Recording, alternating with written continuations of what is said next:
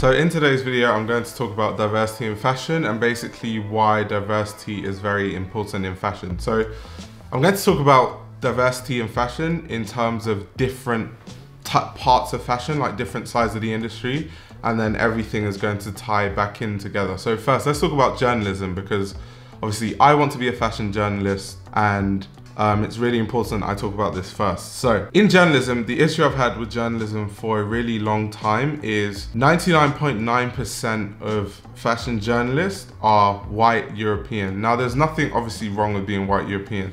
The issue with that is all the perspectives of fashion are exactly the same. Like, I read like a hundred different reviews on one show and like 95% of them are the same and it's because you have people who are upper class or middle class, they're white, don't really understand much about reality because they haven't really lived any sort of adverse life. And then also what that type of journalism comes with is prejudice and classism.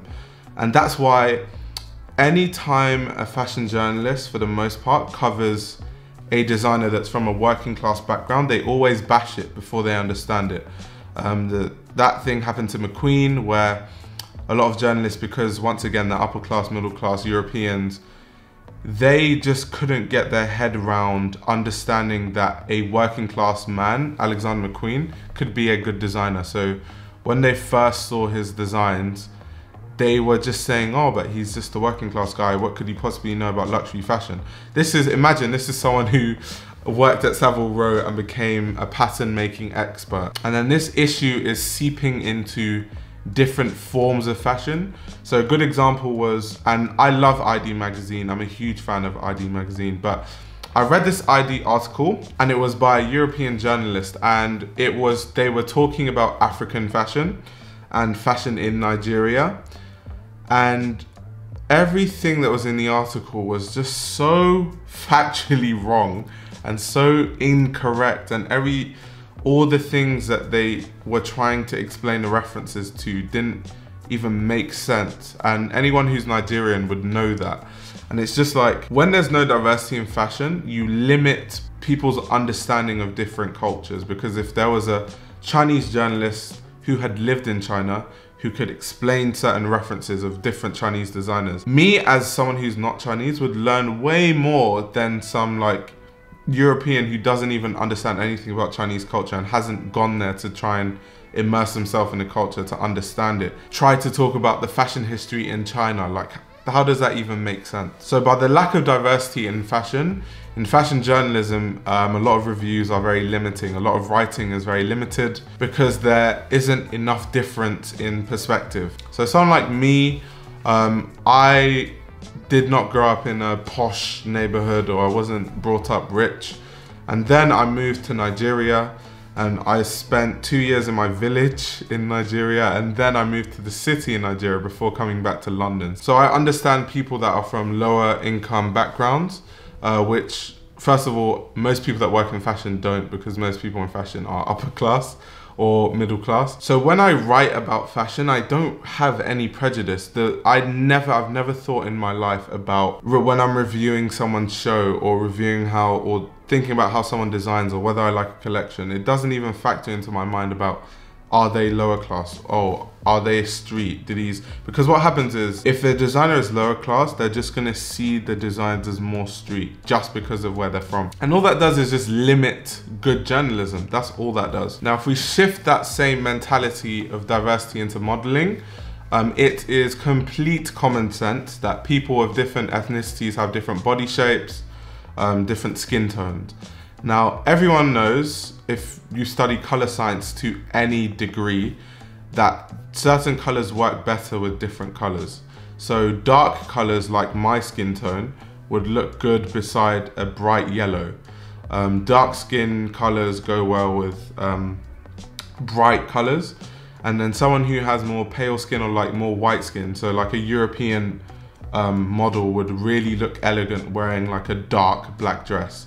However, if you put an extremely dark skinned person in, a, in an extremely dark black dress, it's too camouflaging. It doesn't look, it doesn't pop. It doesn't look fantastic. Because the whole argument in the fashion industry is the reason why models are skinny is because uh, models are human hangers, and that when models walk with the clothing on the runway, it's supposed to look flattering, right? So, if that is their argument, why is it that a lot of European designers are so adverse to using designers from different ethnicities, like from China or Africa or um, Mexico or like Latino countries. Because if you really cared about making your clothes look flattering, you would get someone with a skin tone that works the best with the colors of your collection. And then to take it one step further, I've seen designers who, another argument for why they don't have a diversity of models is because the inspiration of their collection um, is very European based or Eurocentric. And to that I say, so why is it that when brands kind of reference places like China, they don't use Chinese models, or when they use African print in their collections, they don't use African models. So once again, the problem I have with industry is just a bunch of upper class and middle class circle jerkers who are not really passionate. They don't have the passion for fashion. They just have connections and to them it's just all one big game. So literally by using models with different tones on different colors, we can make clothing on the runway look more flattering. Of course, different body shapes also will fit um, different clothing better, just depending on the body shape and depending of on the silhouette of the clothing, of course. And of course, collections will look more authentic if you use models from where your inspiration is from. So Dior, because Dior does this a lot, um, Dior, if you're going to reference Mexico for one of your collections, it makes sense to use Mexican models because it makes it more authentic. Um, same thing, Dior. If you are going to use African prints in your collections, it makes a lot more sense to use uh, black models because if your whole collection is based on Africa and your whole argument before when you were making Eurocentric um, collections and you used only European models, which fair enough, it makes sense if you are consistent with that argument, but unfortunately they're not. So just make sure you use African models. If the inspiration of the collection is African, of course. Then pivoting into fashion design, and this is probably going to be what I'm going to talk about the most. Uh, all the innovation, when we think of fashion design, has always come from diversity of thought. Now, diversity of thought is not necessarily specific to any ethnicity, but there is a correlation between ethnicity and diversity of thought because how a black person thinks could be very different from a white person just based on where they grew up. One might grow up in Africa, one might grow up in the West. Also, the influences around them, because even if both of a white person a black person grow, grows up in the West, uh, their values, their family values will be different. Their culture is still different. So when I say diversity of thought, I'm not really talking about ethnicity, but funny enough, ethnicity does correlate with diversity of thought. Now, going back to my point, um, I'm just thinking of any great designer off the top of my head. If I think of Christian Dior, Christian Dior created silhouettes, changed the way women dressed. Um, that was because he had diversity of thought. He thought differently to the way designers were designing at the time, which made him innovative in the way he designed clothing. The same can be said for Cristobal Balenciaga, the same can be said for Vivienne Westwood, the same can be said for Yohji Yamamoto, the same can be said for Rei Kawakubo, The same can be said for Alexander McQueen, so many designers. If we think of people like uh, the Antwerp Six, the Antwerp Six all graduated from the Royal Academy of Fine Arts in Antwerp, and the Royal Academy of Fine Arts in Antwerp was, um, they were, it was an art school and they didn't have a fashion course until 1963 if I can remember correctly. So when this fashion course was started, it was started by people with an art background who wanted to create a fashion course in the institution.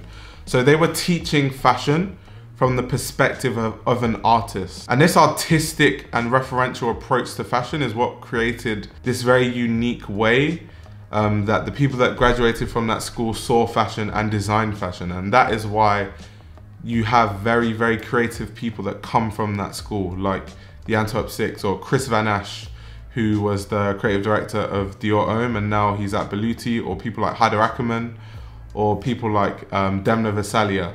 These are insanely creative and amazing designers.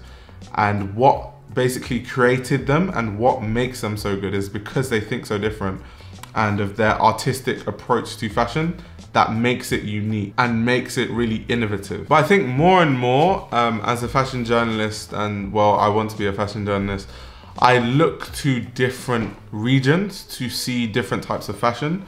And I've started to realize um, as the day goes that there's so much innovation happening in countries where there isn't a blueprint as much as like, let's say in the West um, that are creating amazing things that I've never seen before.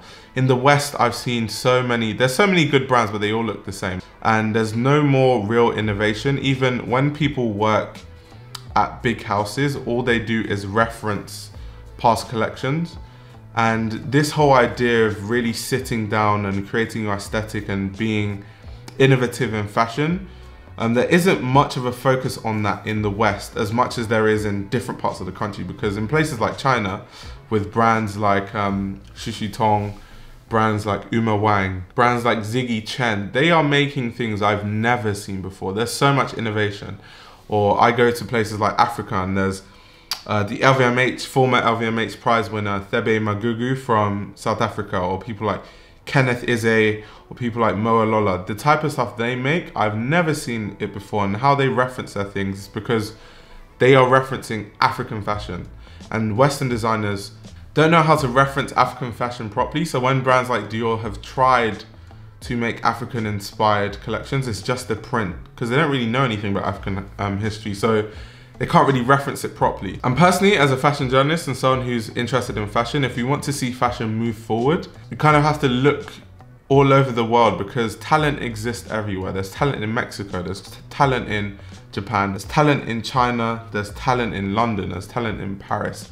But the way the fashion industry operates right now is that people behave as if there's only talent in the West. And the journalists, the way they write, once a designer is not from the West or once they didn't go through the whole CSM Parsons route, they are very, very dismissive. And I think it's because either it's a classism thing or a lot of journalists are very close-minded. And ultimately, fashion is an industry that thrives on creativity. And if we think of creativity, um, if I'm in a room, I would rather be full of a room of people with conflicting opinions on things because then it would become a melting pot of different ideas and I would learn way more than if I was in a room of full of people that thought exactly the same as me. What the hell would I learn? Nothing. Um, how the hell would we create anything new or fresh or innovative if I was just in a room full of people that were all the same as me? So in fashion, we can only continue to innovate if people have diversity of thought, which is really lacking in fashion right now because fashion is so Eurocentric. In Japan, there are so many fantastic brands that are doing amazing, innovative things. There is a brand called, called Anrealage um, that I've been doing research on recently, and Anrealage um, that brand tackles technology and they use a lot of technology in their designs and also the silhouettes are very very new and refreshing or there's designers that come under the umbrella of Comme des Garçons like Kei Ninomiya. Kei Ninomiya is an amazing designer who's doing innovative things and the funny thing about things I hear people say in fashion is people always say everything in fashion has already been done, so now people just have to reference. That is just such BS. Because I'm sure when before Vivienne Westwood came along, everyone said, yeah, everything in fashion has been done. And then Vivienne Westwood did what she did. Then people said everything in fashion has been done. And then here comes Rei Kawakubo and Yohji Yamamoto. Everything in fashion has been done. Here comes Helmut Lang and Jil Sander. So everything in fashion has been done. And then here comes Hussein Chalayan. So that whole thing is just such BS. Um, I think in fashion, because it's so Eurocentric and everyone just tries to be the next Cristobal Balenciaga instead of looking at themselves and trying to find um, references from their own culture and really doing a deep dive and taking their time uh, when they design. And I think that's why there's not much innovation in the West anymore. And that is honestly why we need diversity in fashion to push this industry forward because the places I'm seeing innovation in fashion right now is not happening in Europe for the most part, unless we're talking about a select few amount of designers like your Demna Gvasalias or your Rick Owens. But outside of select few designers, for the most part, everyone just copies each other. And every brand I see is just a watered down version of like Jil Sander when they try to do the minimalism thing or it's a watered down streetwear version of Comme des Garçons and they, or Margiela and they try to do the whole deconstruction thing and it's just there's not really much innovation and now when I look at designs because honestly Western fashion really bores me apart from the select few designers that I said. The innovation is mostly happening in Japan, it's happening in Africa, it's happening in places like Mexico. There are a lot of really good Mexican designers right now or it's happening in places like China or places like Korea. Um, Korea has some amazing brands like 99%IS, Blindness, Kang Hyuk, um, Woo Young Mi, Juun.J. And yeah, to me, I don't know, maybe it's because I'm not upper class, so I don't have this aura of elitism and I don't, I just think elitism is just daft. Like I just, I don't really understand elitism, but maybe because I'm a popper um, in the grand scheme of things, so I just look for innovation. I'm more passionate about the industry and I just love fashion for fashion rather than this whole circle jerk of ego and all this other stuff. So to me, it just makes common sense why we should have diversity in fashion. Because um, most of the time when the conversation is about diversity in fashion, people just think it's like ethnic minorities begging for a space. But actually, in my opinion, allowing ethnic minorities into the fashion space would actually push the industry forward. Um, but honestly, it just depends on what the gatekeepers and what people want to see. Do you want to see fashion move forward, or do you want to keep seeing the same Jil Sander ripoffs over and over again and not explore any creative side of fashion? But yeah, on that note, comment down below uh, your thoughts on this matter. Um, just in diversity and fashion in general. Obviously, I could have gone down the racism route, but that isn't really what this video was about. Uh, this video was literally just talking about how diversity actually pushes the industry forward. So yeah, uh, like this video, subscribe to the channel, turn on your post notifications so you get notified when I post another video and stay tuned for more videos.